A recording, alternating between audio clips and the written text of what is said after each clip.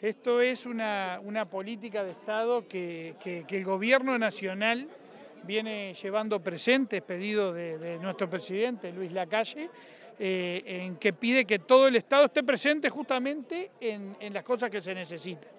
Y esto es una gran iniciativa por parte del intendente de Guillermo Besosi, que, que busca facilitar la vida del adulto mayor que, precisa realizar un trámite, que tiene que venir al médico, que tiene que venir al odontólogo, que lo va a ver el psicólogo, que va a haber también un asistente social para trabajar y todo en conjunto. ACE, MIDES, eh, BPS, Intendencia de, Soriano. Estos son de, las cosas que en realidad nos dejan muy contentos, que maximizan eh, mucho los esfuerzos, usar la palabra del intendente, la sinergia que esto forma, o sea que la actuación de todos va a, lograr un mejor objetivo y, respetando siempre ¿verdad? los que son los, los dineros públicos y dando mejor servicio. Desde el punto de vista de ACE, aquí vamos a contar con médico de medicina general, vamos a tener un médico de familia, vamos a tener psicólogo, vamos a tener asistente social y atención odontológica. Acá pusimos un sillón odontológico nuevo, con equipo de esterilización, con todo lo que necesita, y destacar la palabra nuevo, no es algo que nos sobró en algún hospital y lo trajimos para acá, sino que se compró para, para este servicio. Y, está bueno esto empezarlo a replicar en, el, resto, en, el resto de los lugares, ¿no? de poder lograr, nosotros estamos trabajando fuerte en lo que son los planes de descentralización. Y eh, bueno, no en vano estamos aquí en este departamento, ¿verdad? Está en, en, Soriano, en Mercedes es un hospital en el cual estamos nosotros agregando un CTI, que ya viene en la rendición de cuentas, que se está trabajando, ya comenzó la obra. Es un, eh, también estamos trabajando en una etapa que, falta abrir ahora la licitación para empezar a construir la jaula donde va el, el tomógrafo un tomógrafo que va a ser donado por todo este proyecto Tiempo de Cerebro que, para poder llevar adelante. Y remarcar también cosas que en el hospital hemos hecho, como se ha mejorado en separar las emergencias, ¿verdad? De lo que fue la, emergencia pediátrica de la de adulto, se ha puesto funcionario. Y Dolores, Dolores es un lugar, es una, ciudad que hace poco estuvimos, en el cual pusimos un hospital que estaba trabajando a menos de media máquina, hoy en día es un hospital completo, que ya está haciendo todos los tratamientos, eh, que pues, están naciendo los niños nuevamente en Dolores. Y también pensado en la descentralización y que tiene un foco muy importante eh, que va relacionado con este centro del adulto mayor, es la sede oeste del Hospital de Ojos. Eh, ¿Qué es esto? La gente acá para operarse cataratas o un térico, no sé, un chalacio, tenía que ir al Hospital de Ojos allá, a, eh, Montevideo, al Hospital San Boa. Bajás en Tres Cruces, tomás un taxi, que vale un dineral, o tenés que tomarte dos ómnibus. Pila de gente volvía hacia atrás. Este centro ya se puso, ya lleva arriba de unas 1.800 consultas realizadas, ya debe haber pasado las 160 cirugías que viene realizando, de, que, es gente de aquí de la zona que, que no está viajando a Montevideo para poderse solucionar. Y lo más importante, con el mismo nivel y calidad de atención, porque es el propio hospital de ojos el que tiene sus equipos, ¿verdad?, que, que los tiene trabajando acá. También estamos mejorando el bloque quirúrgico para no trasladar tanto los pacientes hacia otros lugares a operarse.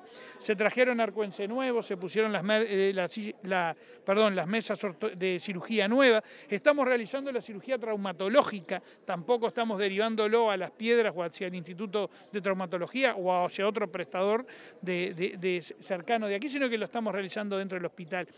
Buscando esto que es eh, la atención ¿verdad? mejor que se pueda brindar y siempre segura en, eh, en cada lugar. ¿Cómo se, ¿Cómo se complementa la agenda de ACE aquí en Soriano? La agenda de ACE eh, con todo el resto de los organismos.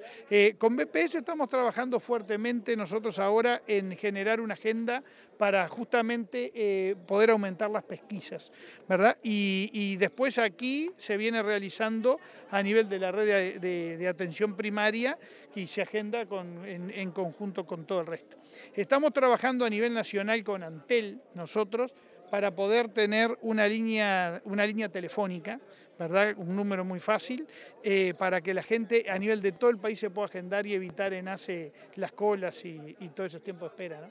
¿Hacer recorre otros puntos del departamento en la jornada? Sí, hoy sí. Venimos nosotros ya en la mañana, estuvimos reunidos en Rizo, Eh, estuvimos reunidos también en Egaña con los vecinos de la zona, en el cual tenemos que ponernos a trabajar en, lo que es la reparación de las policlínicas, porque tenemos unas policlínicas que, están muy venidas abajo. Eh, de ese tema, la ambulancia, que es un tema que está bueno trabajando ambas poblaciones para comprar una ambulancia conjunta, pero ACE debería proporcionar todo lo que es bueno el aparato de adentro. ¿En qué se está en todo eso? Eh, en eso estamos trabajando. De hecho, valoramos muchísimo esa actitud de, estos vecinos, que ya ellos tienen 20 mil dólares. Eh, que el tema de la ambulancia nosotros para esta localidad es una ambulancia que la tenemos dentro de nuestro sistema. Eh, esto nos va a ayudar muchísimo porque ellos al comprar la ambulancia nosotros podemos disponer ese dinero para, para vertirlo en la propia policlínica. Eh, eh, va a ser una ambulancia que se va a comprar mediante la Intendencia, ¿verdad? y ACE la va a equipar absolutamente todo. Ya estamos en los procesos con, el, con, con, la Intendencia para, para poderlo solucionar, lo cual es necesario. Y es necesario reparar las policlínicas. Y viste que eso viene, viene, esperemos, nosotros somos rápidos, ¿verdad? Somos rápidos, estos vecinos eh, a voluntad de ellos ya pudieron conseguir ese dinero, que, es muy importante el, esfuerzo de todos ellos, y bueno, y es nuestra hora de ir, de ir tratar de corregirle y, hacer un trabajo que va a ser muy importante, que también lo pensamos hacer en, un convenio que vamos a firmar con la Intendencia de Soriano, para que de esa manera no sea, eh, eh, la plata nos pueda rendir un poco mejor. Sin dejar de reconocer lo que usted dijo del Hospital de Mercedes, que es cierto, pero nos preocupa y mucho a quienes vivimos aquí y a quienes se asisten en el hospital, que cuando un fin de semana nos falta, nos falta pediatra de guardia y no hay, al otro fin de semana no hay anestesista, al otro fin de semana no hay instrumentista y y, el paciente que va, si necesita la atención de urgencia, tiene que estar pensando si se lo llevan para Dolores, si se lo llevan para Fraivento, para dónde lo llevan. Y es un tema que nos preocupa porque se ha dado en los últimos tiempos y preocupa y mucho, porque quien va al hospital es una persona que no tiene recursos, o muy pocos. Yo te quiero corregir una cosa. Hay algo en la salud que pasa y que pasa a nivel de todos lados y todos los prestadores, que es la certificación en el momento cuando ocurre, que es muy difícil de cubrir. ¿Qué es esto cuando vos tenés un funcionario que tiene que entrar, por ejemplo, a las 20 horas y te llama a 19.30 o, o 20 menos o, antes de llegar a las 8 que no puede venir por algún tipo de problema. Lo que sí tenemos en ACE, y eso tenemos que remarcar, como le ocurre a cualquier prestador, nosotros reforzamos todos los centros hospitalarios de la zona. O sea, ¿qué quiere decir? Ningún paciente se queda sin atención y ningún paciente muere por esto que es lo importante que uno tiene que destacar. ¿Por qué? Porque nosotros, por ejemplo, a 30 kilómetros de acá, el Hospital de Dolores, que no tenía nada, no tenía anestesista, no tenía, eh, sabemos cómo era, eh, hoy en día es un hospital que está trabajando a capacidad completa. O sea que cuando ocurren esos hechos que son puntuales, porque no son porque la plata, los cargos, eh, está todo cubierto, es algo que acá eh, eh, a cualquiera, digo, cualquier centro, ese tipo de certificación trae un problema. O sea que cuando eso ocurre se coordina en forma momentánea con el otro centro y todo se atiende.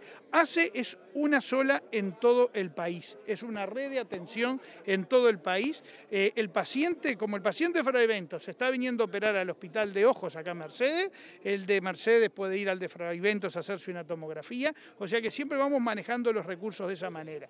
Y hay problemas, esos problemas puntuales eh, se entran a corregir. Eh, nosotros tenemos, hicimos ahora un departamento de medicina laboral en ACE que está estudiando los temas de ausentismo, porque somos una de las organizaciones que desgraciadamente, a pesar de tener todo cubierto, eh, tenemos mucho a veces ausentismo sobre el momento que siempre lleva tema de, de manejo y de estudio. Todas las instituciones que manejamos en salud, eh, tanto el medio público como privado, eh, eh, son cosas frecuentes que nos pasan. Los médicos desgraciadamente tenemos muchos trabajos en, varios lugares. Han habido políticas para tratar de concentrarlos, que trabajen uno, en un solo lugar, pero no han tenido el impacto ¿verdad? en la realidad y, bueno, ese, ese multiempleo que, que, existe a veces nos lleva a esto. Pero lo bueno es que siempre se cubre, siempre se cubre meses quizás de un accidente múltiple, más llegando a Fraiventos que a Mercedes, lo cual es un poco al descubierto quién tiene que cubrir realmente los accidentes fatales o no fatales, pero graves en ruta. ¿A quién corresponde, dado que, por ejemplo, las emergencias acá nos manifestaban que su radio es solo la capital de cada departamento y un poco la periferia, pero no así la ruta? ¿Qué pasa con ese vacío si es que lo hay? Bueno, ese eso es un tema del Ministerio de Salud Pública, no es un tema de ACE.